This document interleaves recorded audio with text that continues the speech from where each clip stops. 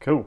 Hello, I'm gonna be looking at, showing you guys a breakdown of this lamp that I got from AliExpress. Uh, it's the, the, reason why I bought it was because it had three different types of light modes. So it has white and only white. Then it has a warm white and then it has both together.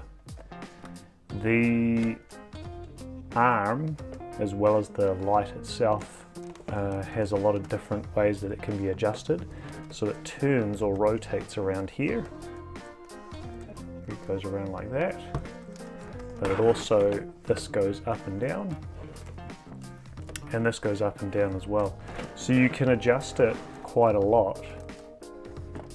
And if you're reading a book or something, it makes it a lot easier to do stuff.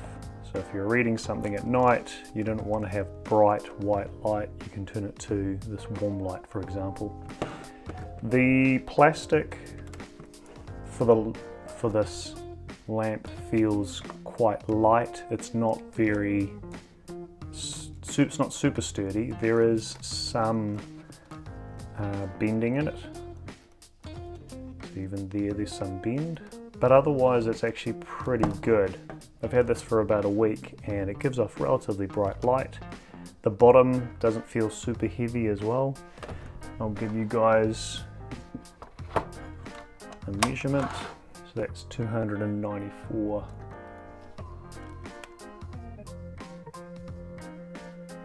Two hundred and eighty grams.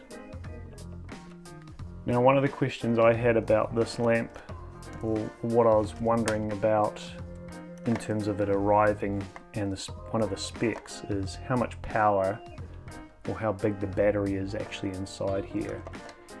And it charges by using, it charges using a micro USB in the back and you can also turn it off in the back as well. So there's an off switch there.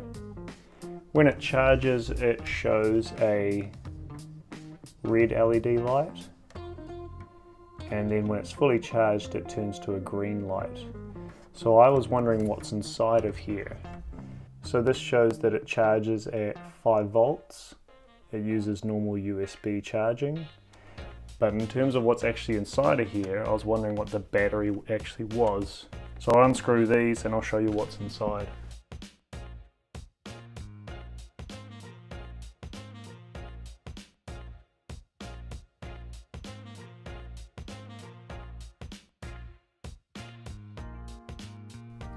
Cool. I forgot to mention that you also get a USB cable as well.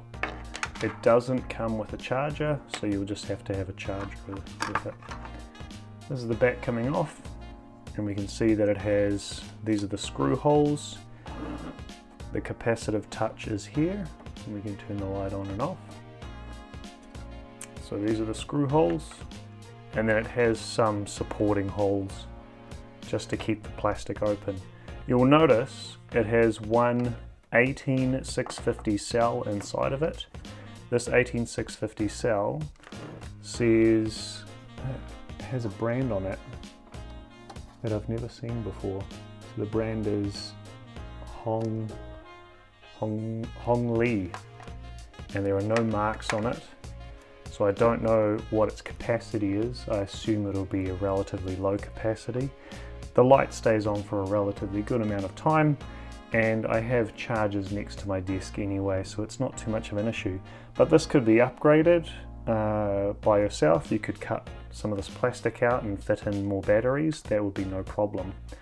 The battery itself outputs the typical 3.7 nominal voltage and the voltage that comes into here goes through and the voltage that goes through the voltage at the end goes through this circuit board here. Now this circuit board, some of the writing is on the, uh, the chips there, but it's hard to read them.